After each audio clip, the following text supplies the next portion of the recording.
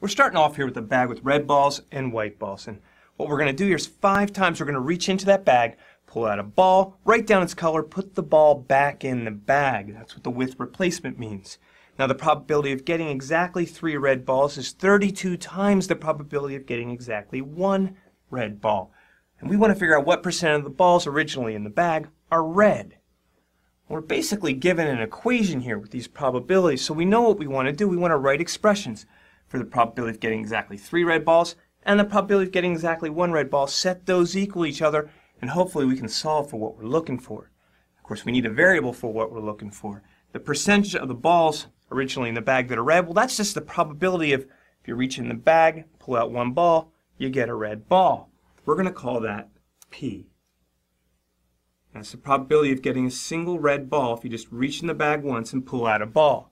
Of course, all the other balls that aren't red, those are white, so 1 minus P is the probability of getting a white ball. Now we just have to write those expressions. One for exactly three red balls, one for exactly one red ball. We'll start off with the three. That means we have two white balls. So we have two white and three red. And we want to write a probability that we'll get two white and three red. Well, we'll start off just by thinking about a single sequence, a single possibility here of two white and three red. Now, one possibility is just to pull the two whites out first and then the three reds.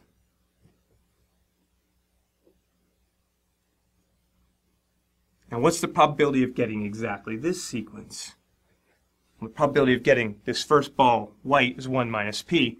It's the same as the second. Again, we're doing this with, with replacement. Put the ball back in. So probability of getting the first one white is 1 minus p. Probability of getting the second one white is also 1 minus p.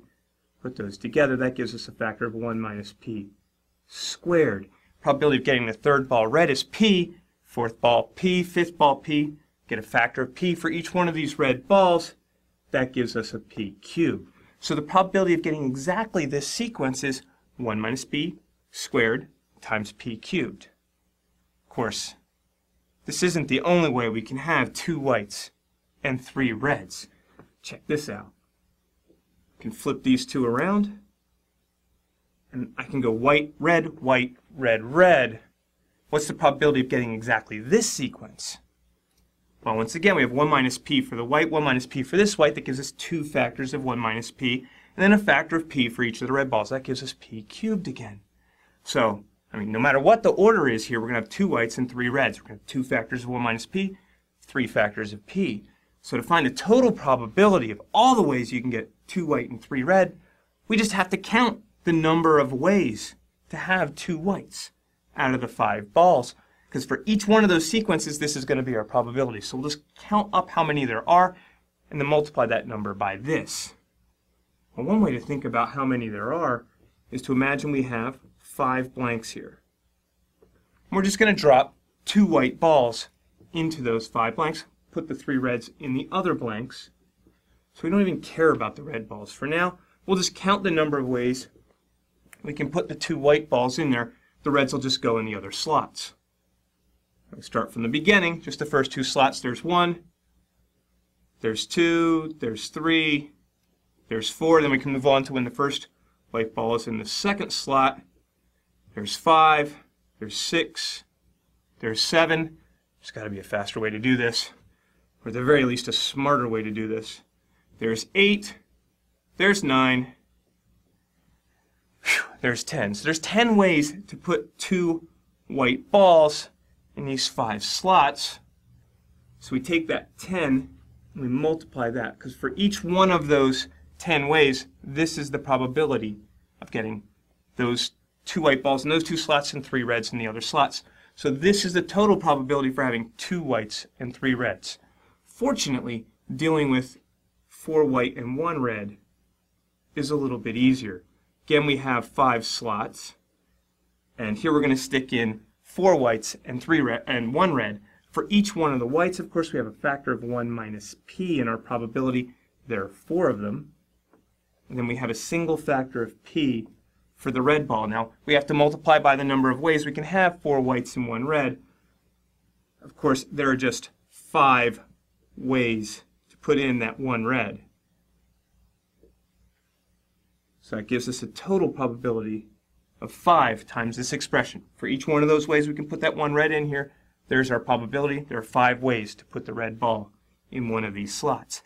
Now we can write our equation. We know that this probability is 32 times this, so we have our, we have our equation. We have 10 times 1 minus p squared times p cubed is 32 times this other probability we have. Now, at first glance, this is a terrifying equation. But we can simplify a lot here. We can divide both sides by p. We get a p squared over here. Divide both sides by 10. 32 times 5 is 160. Divide that by 10, we get 16. And we can divide both sides by the square of 1 minus p. We'll be left with the 1 minus p squared over there. Now we see a bunch of squares. We'll take the square root of both sides because we know p is positive and 1 minus p is positive. We take the square root, we get p equals 4 times 1 minus p. Expand that to 4 minus 4p. And now we have 5p equals 4. So p is 4 fifths. Of course, 4 fifths, go back, read the question, we want a percent, is 80%. All right, we got that down. Now, I still think there was a faster way to figure out that there were 10 ways to get two whites and three reds, but running short on time. We need to move on to the next problem.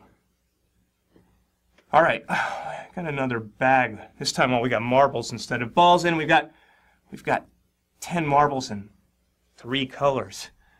Five red, three blue, two green, and we're going to pull six marbles out. And each time we're going to put it back in, just like we did before. And we want the probability that we get two of each color. Ah.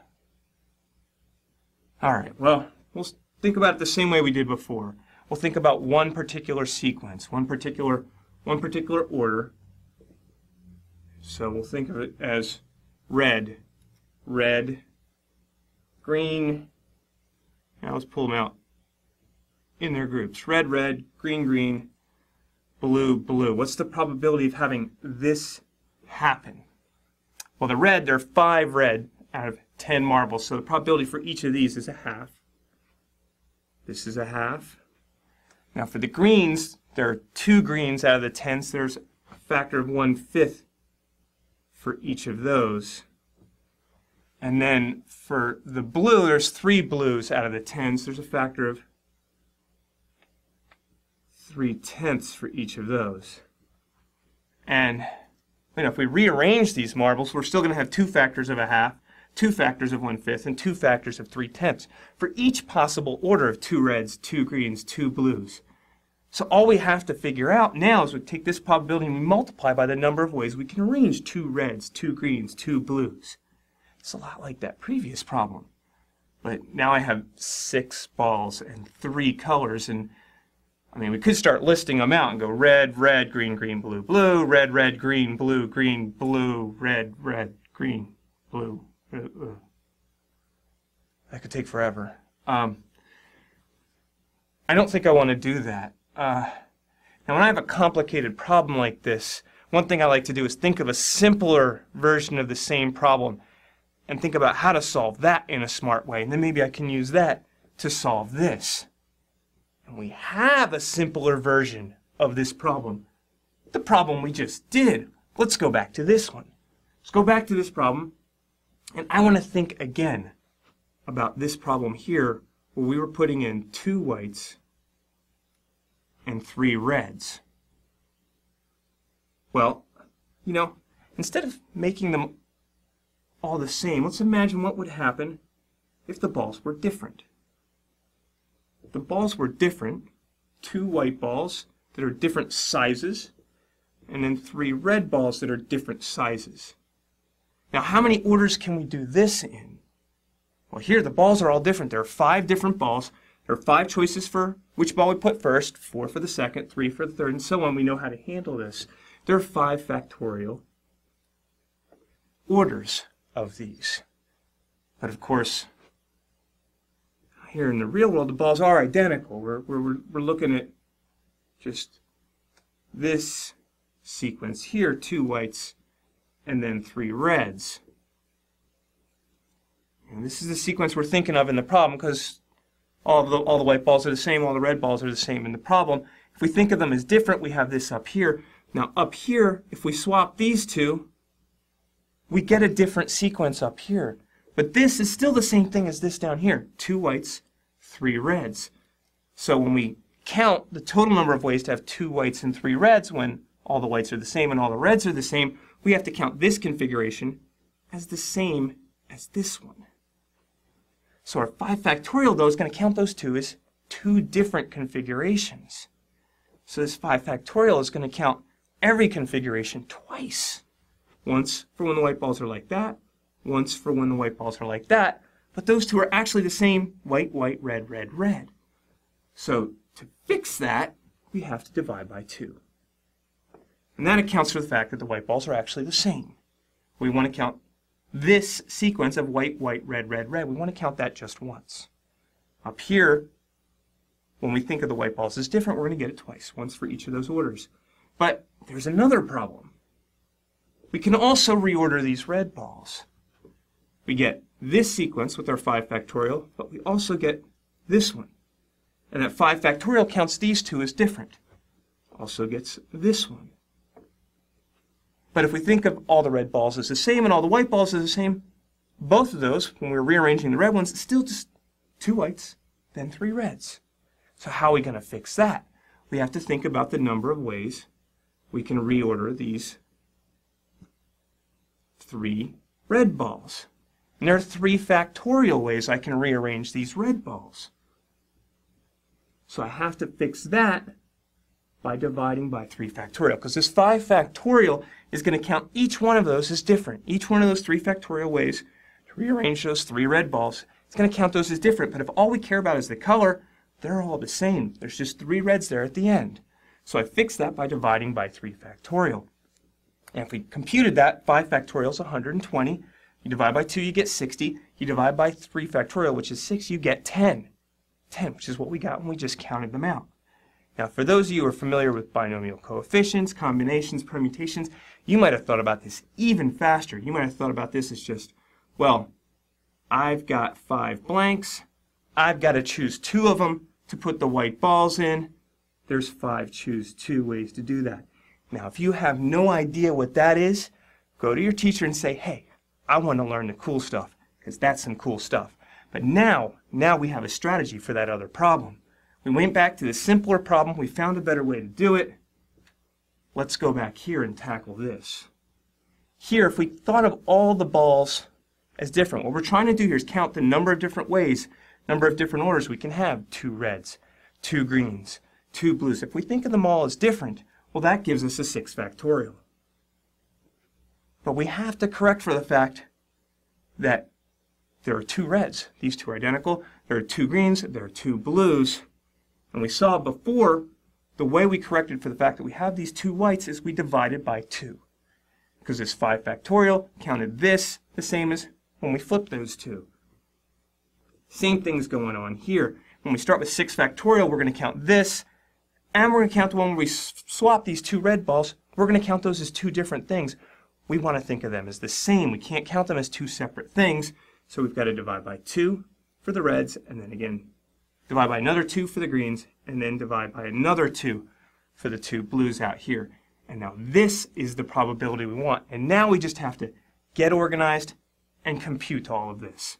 So what's a good way to get organized here? All right, well our 6 factorial is 6 times 5 times 4 times 3 times 2. And we've got these two 3's out here.